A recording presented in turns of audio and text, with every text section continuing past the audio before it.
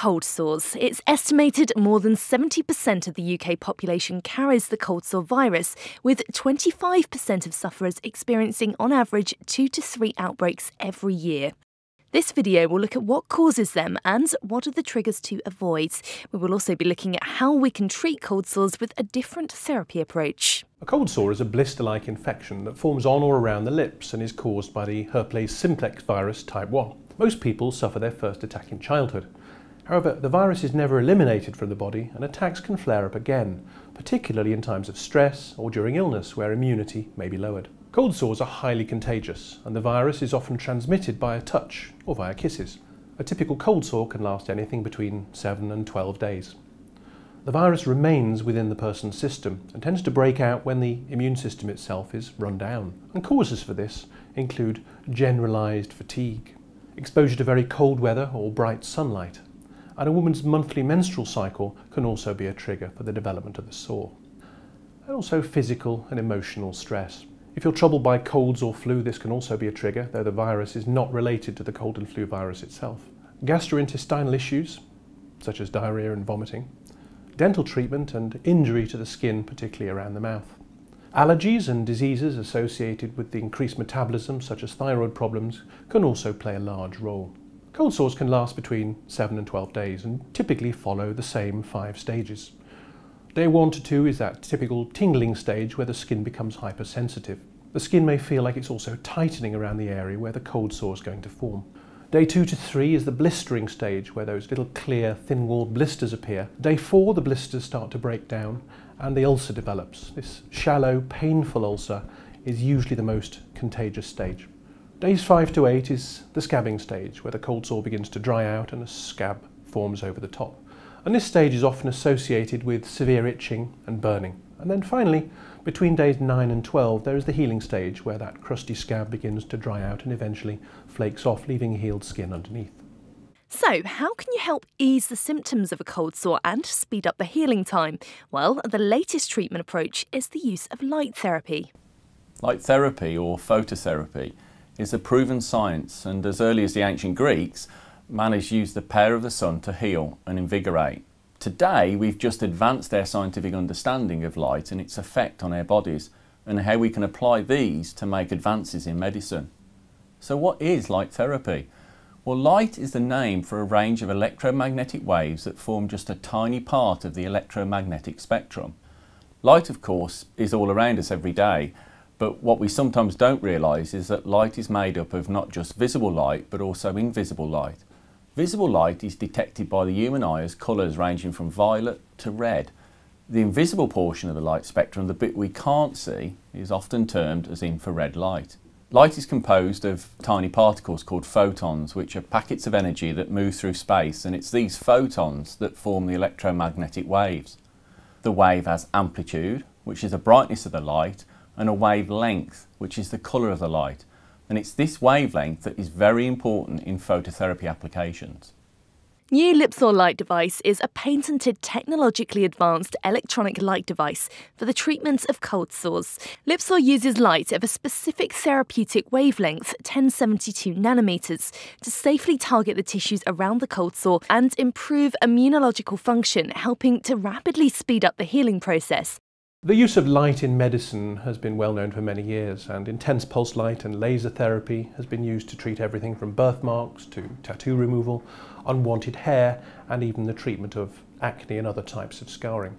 But those types of light generate a lot of heat within the skin and the treatment can be uncomfortable and even painful. Cold sores are often difficult to treat using conventional products which contain a variety of antiviral agents, antiseptic and anaesthetics.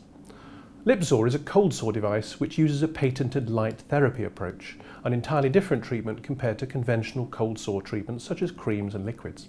The Lipzor device emits a very pure form of light from two light-emitting diodes known as LEDs, and these significantly reduce the healing time and associated symptoms of cold sores. The efficacious non-thermal light is of a very specific wavelength, 1072 nanometers, which is part of the infrared range of light and is invisible to the naked eye.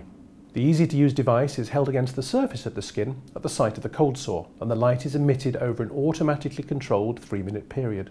This treatment harnesses the power of natural light, stimulating the cells involved in the body's defence mechanism to heal the cold sore more quickly and help reduce the reoccurrence and severity of future attacks. Lipzor works by targeting the mitochondria, which are the energy producing powerhouses present in cells within the human body. These mitochondria absorb photons of light at very specific wavelengths and convert this into additional energy, which the cell can then make use of, making it more active and more efficient. During this process, the ability of the cell to communicate with other cells is enhanced, and this in turn stimulates cells involved in the wound healing processes, thus leading to an improved immune response and faster cold sore healing, repairing the damage to the tissues caused by the virus. Lipzor emits light at 1072 nanometers. There are clinical studies that demonstrate why the 1072 wavelength is the optimum wavelength at which light protects human cells and repairs tissue. It's for this exact reason that Lipzor uses a light wavelength at 1072 nanometers. As a result, Lipzor's light therapy delivers a very precise light in a controlled and safe way and targets specific cells in the body, leaving other cells unaffected. Also, unlike lasers and intense pulsed light, Lipzor produces no heat, so there is no risk of burns, skin damage or damage to the eyes. In addition, treatment with Lipzor leaves no telltale signs or marks on the skin.